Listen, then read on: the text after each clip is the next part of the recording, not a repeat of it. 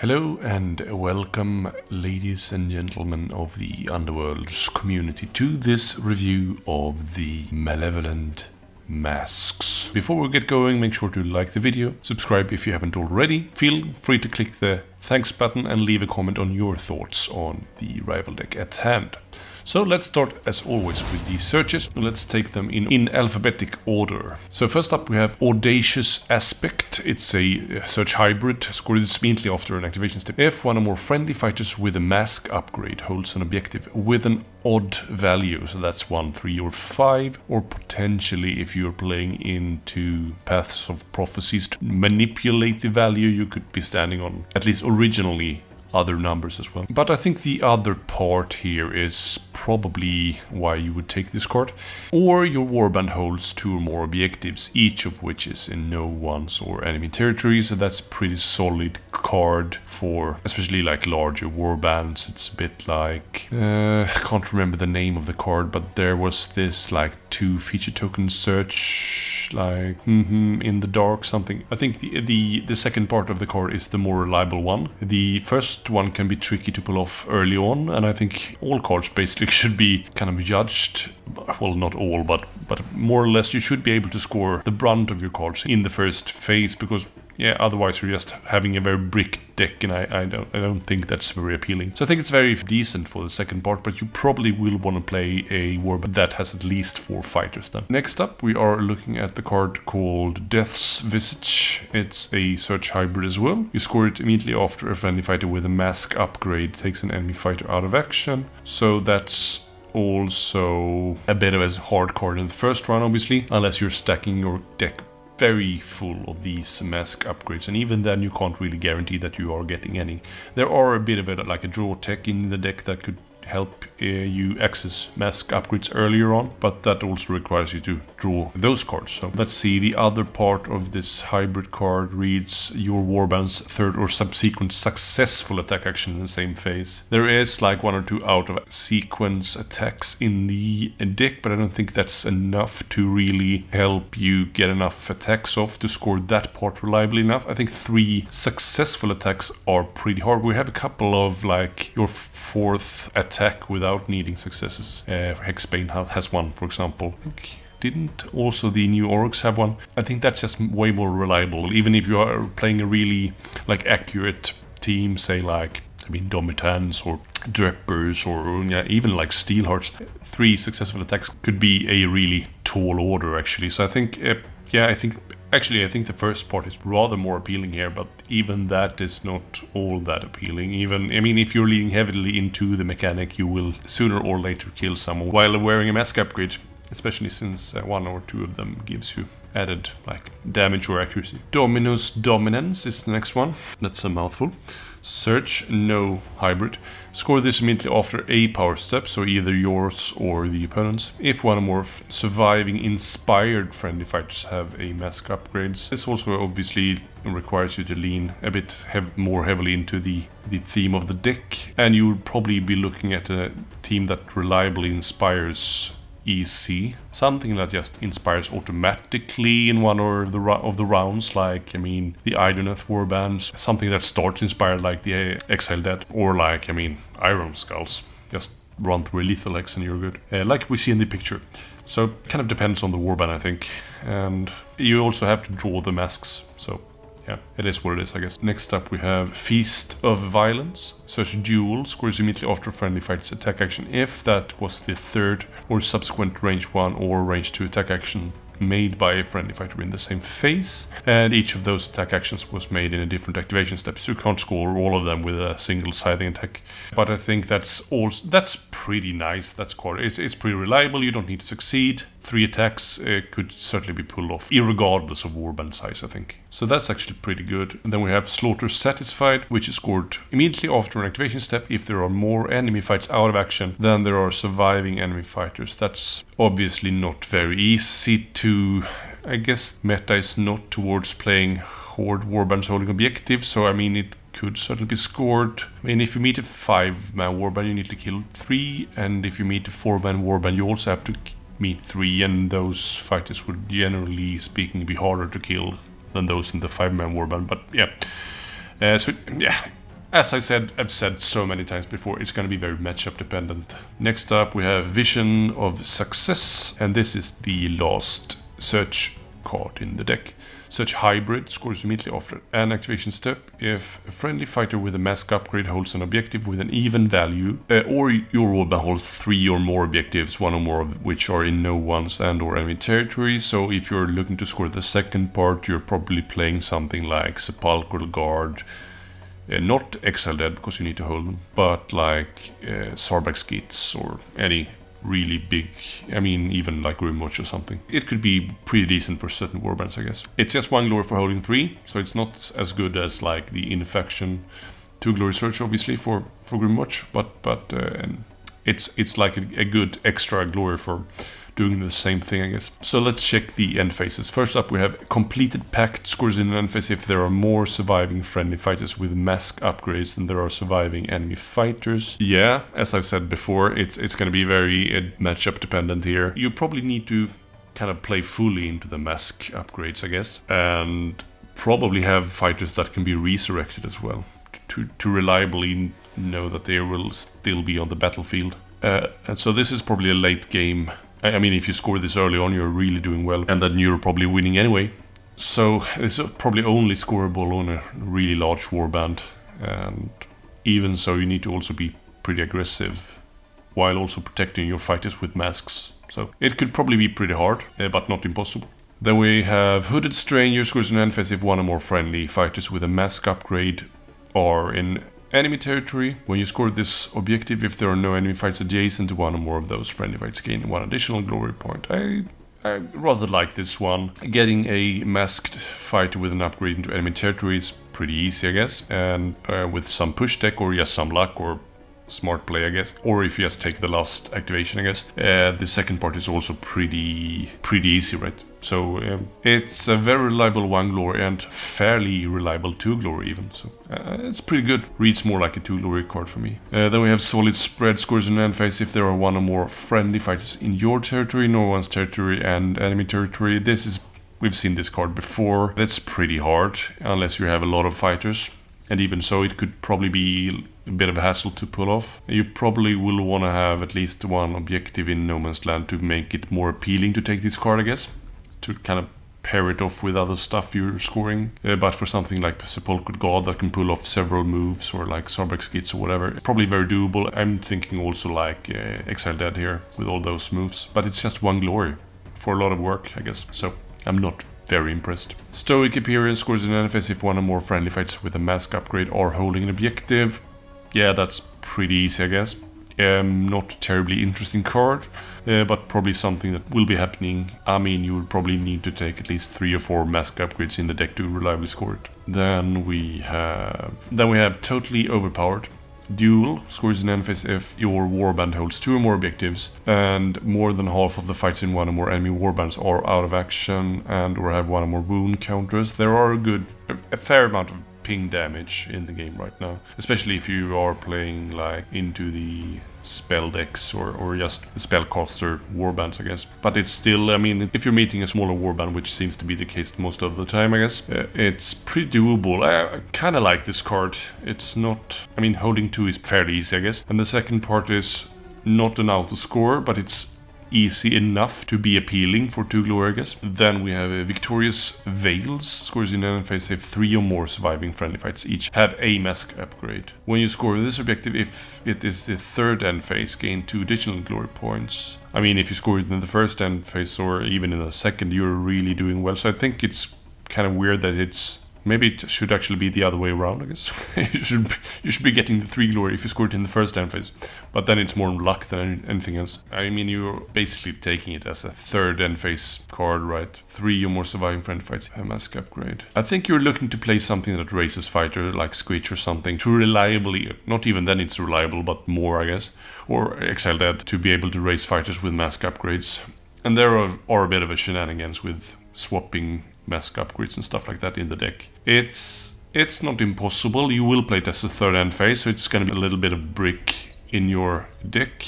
I don't think it's terribly appealing, but it's not awful. I'm being very diplomatic here in my opinions today. Let's go over the uh, gambits as well.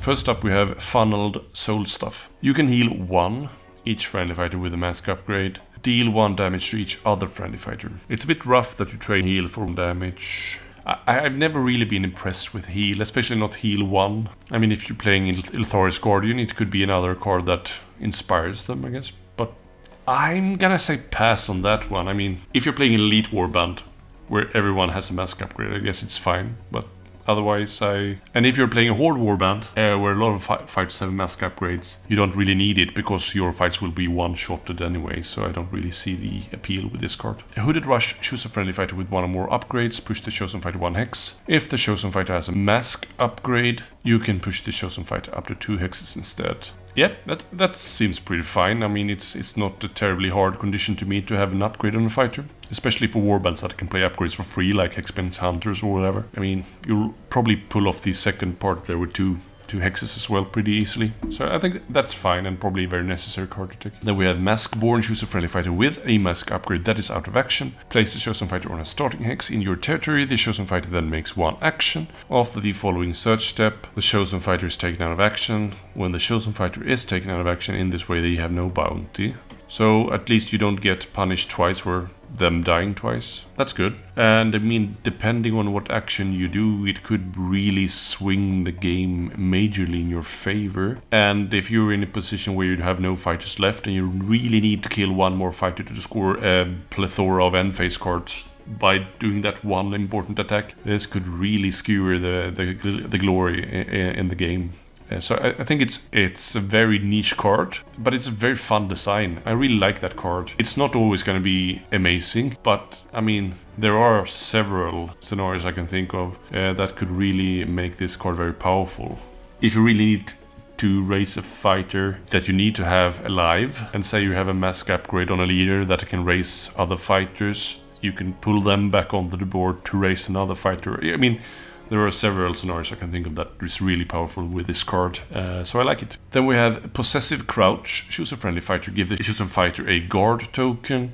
If the chosen fighter has a mask upgrade, stagger each fighter adjacent to the chosen fighter. Um, I'm not terribly impressed with guard tokens generally. I mean, if you are on multiple defense dice, a guard token can obviously be, be quite powerful, especially if you're playing something like uh, the I mean Skittershanks with a defensive upgrade there you are guarded with three defense dice. That's pretty crazy. Uh, but most of the time guard doesn't really do all that much I guess. If the chosen fighter has a mask upgrade stagger each fighter adjacent. So you could uh, potentially set up a very accurate like scything attack or something like that but that also requires you to be adjacent before your activation which is kind of a rare case, I guess. I'm not terribly impressed, I guess. I mean, guard token is always useful, obviously, so it, it's not like you are risking anything by taking the card. It's probably just in like a championship game, you probably wouldn't take the card because you could take a lot more powerful stuff, but yeah. Uh, revealed aspect.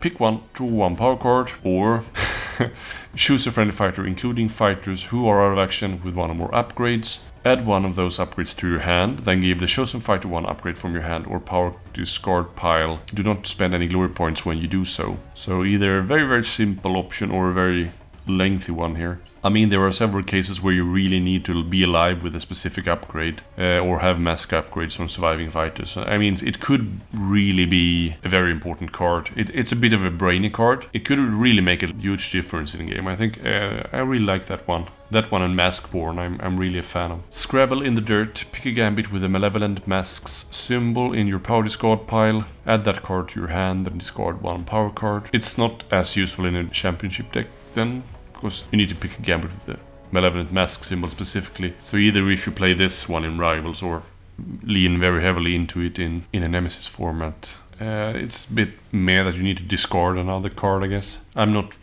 overly impressed. Shattering Violence, choose a friendly fighter, stagger the chosen fighter, plus one dice with the first range 1 or range 2 attack action made by the chosen fighter in the next activation. If the chosen fighter has a mask upgrade, you can re-roll one attack dice in the attack roll of that fighter's first attack action made in the next activation. So you don't get rerolls for every attack uh, in a scything sequence. So, uh, that's too bad. I mean, you will have... I mean, plus one dice is always nice. So even if you don't lean heavily into the, the deck, it's still useful.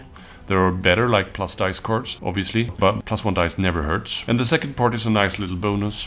It's not amazingly powerful, but it's still very nice. Accuracy is always king in my book. Taking over, choose a friendly fighter with a mask upgrade that has an action on that mask's upgrade, which there are like four or five that do, I think. We'll get to it. The chosen fighter makes that action. Uh, that's pretty nice because there are several like powerful actions on those cards, but the downside is that it requires an action.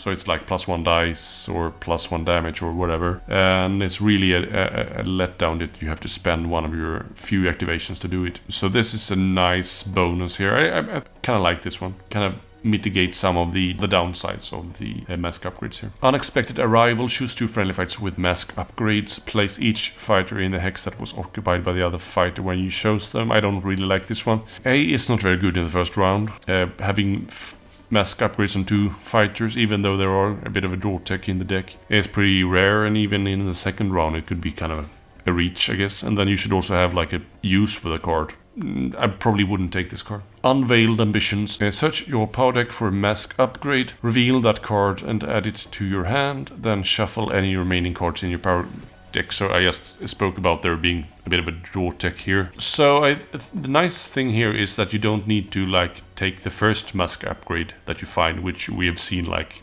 similar cards say before, like search your deck until you find a specific uh, symbol or whatever. That's pretty nice. Helps uh, get those vital mask upgrades out.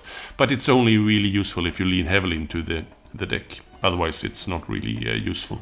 Alright, so let's get to the, the meat of the matter then. The uh, upgrades, which includes the mask upgrades, but the first one actually is not a mask upgrade. Uh, it's called Dark Humor. You can reroll one defense dice in this fighter's defense roll, uh, like Champion's Fortitude, I guess. If this fighter has a mask upgrade, you can make the following reaction. Mocking Laugh. It sounds like a D&D spell, I guess. Uh, reaction uses after an attack action the target that this fighter. If this fighter's defense roll contain one or more critical successes, push the attacker one hex. I think that, that part is pretty situational. I don't think it's terribly useful. This card, it, it, it's... The reroll for defense is like, it's good for fighters that have like damage mitigations on specific symbols like Wurmspat or the uh, Gryselle's Arenai, but probably more Wurmspat obviously, since shields are more likely to roll than dodges. It doesn't hurt, but it's not terribly powerful. Then we have Displacing Figurine action. Pick an objective in an empty hex, place this fighter on the objective you picked, give this fighter one charge token, then break this card. And since it's not a mask upgrade, I don't think the action is amazing. I mean, if you need to like, for example, like the fighter depicted on the the card art here, uh, they have like they need to hold on both sides of the of the board, but the charge is crap, and then you need to destroy the card as well. Um, I mean, if you have really bad movement, I guess, but otherwise you're probably better off just charging. So yeah, not not a fan. Then we have Envy's Shroud, and uh, the color of Envy is obviously green, which we see in the card art here. Ma this is a mask upgrade. Plus one wound, uh, which is, it's okay. Uh, but I think it's less so now that we have large fighters already on 5 wounds, and some stuff doesn't work with large fighters, so I think the power of the plus 1 wound card has lessened. When you give this to a fighter, if that fighter has other upgrades, break those cards. That's pretty rough. You cannot give this fighter upgrades other than mask upgrades. Not a fan. Unless you really need to have masks, I don't think it's a good trade-off with just plus one wound and not being able to have any other upgrades. I don't think that the single wound is worth. Menacing posture of this fighter's action that pushes one or more enemy fighters. Push this fighter one hex towards one of those fighters. I guess that could be an I mean an attack action that pushes one. Uh, then you could push after them to I mean if you're kind of driving someone back from an objective and then you're pushing onto the objective. It's pretty specific. There are other better like push cards, especially if you're playing championship. It's certainly useful. It's a bit sad that you have to push towards the fighter. Could be more universal in its specification, I guess. It's neither yay or nay, I guess. Then we have the Echo guys. Okay, guys. Mask. When a fighter has two mask upgrades, break one. So you can't have more than this one then. Reverberating Call. Action. Pick two feature tokens, one of which this fighter is on. Place each feature token in the hex the other feature token was in when you pick them. Rolls of double supports or successes in this fighter's defense roll until the end of the round in which this action is made. Could be really useful if you're playing leaning into like paths of prophecy as well, or just a specific hold number or whatever like if you need to hold the value 9 with like the Ephelim's Pandemonium you could trade an objective that an uh, enemy has with something that you have okay so you have also like extra success in defense but you also need to have done the action then to get that very slight defensive buff. Obviously also stronger if you're rolling two or three defense dice. It could be obviously very powerful in the right scenario. It's pretty situational though. The Eternal Smile, kind of disturbing card art here with Lady Harrow or whatever it is in the, it's like rotten pumpkin smile kind of a deal. Uh, when a fighter has two mask upgrades, break one, uh, Rictus of Carnage action, plus one damage to this fighter's range one and range two attack actions other than scything attack actions until the end of the round. So with that ploy card we mentioned earlier, you could do for example, this one for free, which is obviously very powerful. And then you have plus one damage for the round. And then especially for like Voltron type fighters that are kind of uh, bearing the weight of the entire warband on their shoulders. Uh, this could be a very powerful combo. It kind of sucks that you have to do an action. It's like the sharpening of the blade, but you don't need to be adjacent to another fighter to do it. It's pretty powerful in the right circumstance. Next up we have the Frostbitten Veil mask when a fighter has two mask upgrades, break one. Power Search action. You can reroll each dice in this fight's attack roll until the end of the round, which could obviously be amazing on like Tooth Dagger or anything like rolling three or four dice. I mean, especially paired with something like you have successes on both symbols or whatever. I mean, it could be amazingly accurate. But it's an action, but if you're in the late later stages of the game where you kind of like sizing your opponent up for one final attack, uh, it could be well worth to do it. Or if you're, as I said, playing a, like a Voltron type uh, Mollog or Kanan or whatever, where you really need to not involve the other fighters as much, you could probably live with spending an activation doing this. But normally you wouldn't want to spend one of your few activations on an action such as this. It's, it's I mean, it's pretty much like like the horn action with Cartean. So yeah, uh, potentially very powerful. Uh, probably the most powerful of these ones so far. The Howling Hood Mask. When a fighter has two mask upgrades, break one. Abyssal Howl action. Choose a fighter adjacent to this fighter. Push the chosen fighter up to two hexes, then stagger the chosen fighter. Yeah, pushing two could be very powerful. Is it worth spending an action on? It really depends obviously. It's my boring and diplomatic answer to that. Then we have unassailable stance, minus one defense to minimum of one. Rolls of shields and dodges are successes in this fighter's defense rolls. Yeah, so it's not really something you play if you're playing a multiple defense style warband, but it's obviously pretty good otherwise. Uh, if you don't have anything to lose from having minus one defense, it's pretty useful, but it's mo more useful for like a one dodge warband than a one shield, obviously. I don't think it's strong enough to include in a more competitive format though. Then the last one is called Vitrix's Eye, which is also a mask. When a fighter has two mask upgrades, break one. Piercing Stare action. This fighter makes the following attack action. That's kind of weird. So a piercing stare action, which then makes... Couldn't it just be printed as an attack action? I guess it's worse because you can't charge and do it then. It's pretty weird though.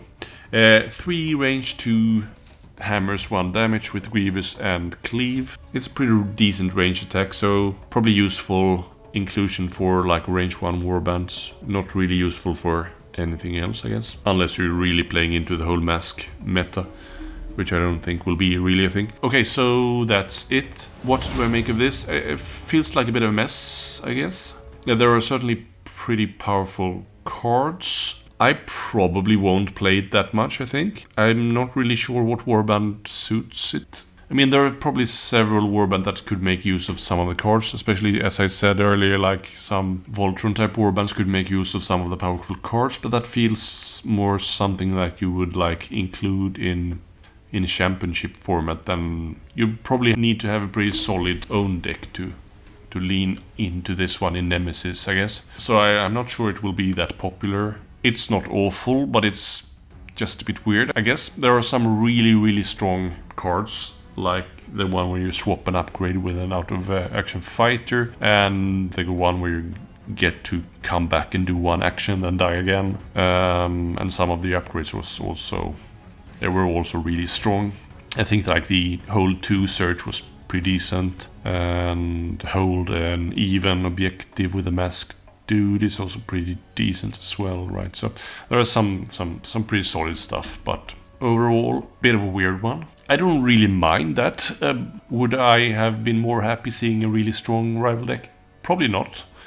I think um, when we saw like the Fearsome Fortress come out, I think it was a bit boring personally because felt a bit like this will be the one people play for a really long time. It's got a lot of really strong passive glory and there's really no need to play anything else. I just hope people will play it anyway, I guess, even if it's not that strong. I love seeing people make use of lesser strong decks and make something out of it. But I personally think it will be more popular in Championship with a select few cards from this one, um, paired with some goodies from other uh, Universal Rival decks, rather than in the Nemesis format. So, but that's it for me today. Uh, the end credits will roll soon. Take care. Bye.